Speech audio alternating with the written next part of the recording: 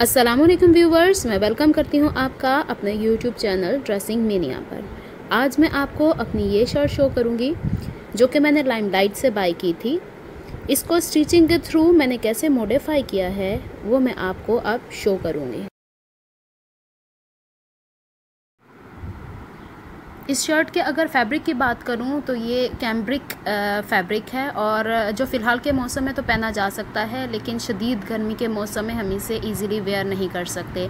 इसकी अगर नेकलाइन की बात करूँ तो मैंने बोट शेप नेक बनाया है, जो कि विथ वाइज काफ़ी ज़्यादा है, लेकिन गहराई में कम है और अगले गले की गहराई पिछले से हाफ़ या एक इंच ज़्यादा है। इसके सामने ये एम्ब्रॉयड्री नहीं है, बल्कि सीनों और शर्ट के अगले और पिछले हिस्से पर ये प्रिंटिंग हुई है, जिस वजह से मैंने इसके गले को सादा ही रखा है मज़ीद इसके ऊपर कोई काम नहीं किया। अगर स्लीव्स की बात करूँ तो वो बेल बॉटम है और स्लीव्स के बॉटम पर मैंने ये सिंथेटिक फ़र जो कि लेस की सूरत में बाज़ार से इजीली अवेलेबल है, वो लगाया है और इसके बैक के हिस्से को छुपाने के लिए मैंने शर्ट के बचे हुए कपड़े से अलहदा यह पट्टी काट कर लगाई है ताकि इसको थोड़ी सी फिनिशिंग भी मिल जाए और ये फ़र बैक के हिस्से से बाजुओं पर चुभे नहीं। इसकी अगर बॉटम की बात करें तो इस शर्ट को मैंने हाई एंड लो बनाने की कोशिश की है और अगले हिस्से को मैंने राउंड शेप दिया और बैक के हिस्से को मैंने स्ट्रेट रखा है और अगर ऊंचाई की बात की जाए तो अगला पल्ला पिछले पल्ले की नस्बत दो या तीन इंच ऊँचा है और अगले हिस्से को मैंने राउंड शेप दिया है। इसके अगर बैक की बात करूँ तो बैक के ऊपर वही वैसा ही प्रिंट है जैसा कि फ्रंट पर है, लेकिन इसकी गहराई, उसकी नस्बत थोड़ी कम है।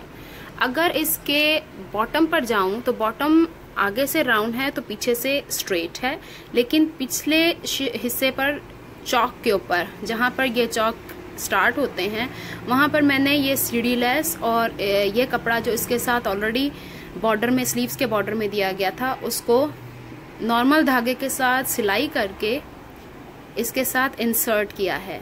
यहाँ से अलहदा इसे काट कर इसके अंदर इंसर्ट किया है ताकि थोड़ा सा इसका फैंसी लुक आए, थोड़ा मॉडिफाई लगे।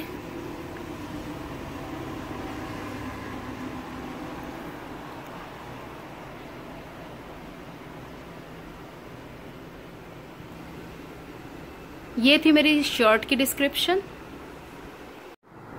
चूँकि मैंने वो जस्ट एक शर्ट बाई की थी और इसके साथ जो मॉडल की गिवन पिक्चर थी, उसमें जो मॉडल ने ट्राउज़र वेयर किया था स्किन कलर का था तो इसके लिए मैंने शलवार का कपड़ा इस ब्लॉक प्रिंटिंग टाइप फैब्रिक में बाई किया है।